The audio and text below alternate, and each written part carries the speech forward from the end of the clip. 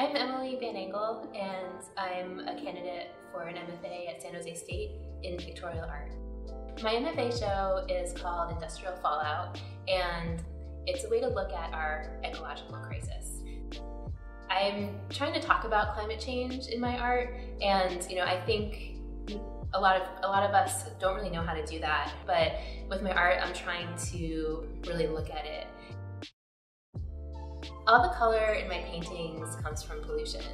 I gathered um, particulate matter, so small particles of pollution that have gathered on window ledges and other outside surfaces. And I mix that with linseed oil to create an emulsion, like a paint. And I use that to make the imagery.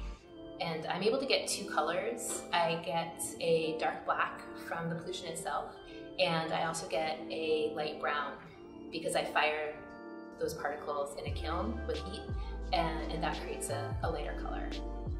I've been working with paint and glass interchangeably for a couple of years.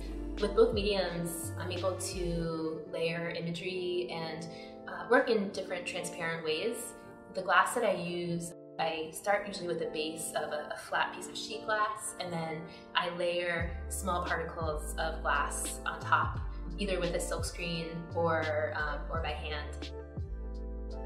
When I look at my art, it makes me feel sad. I think the images end up looking kind of ghost-like.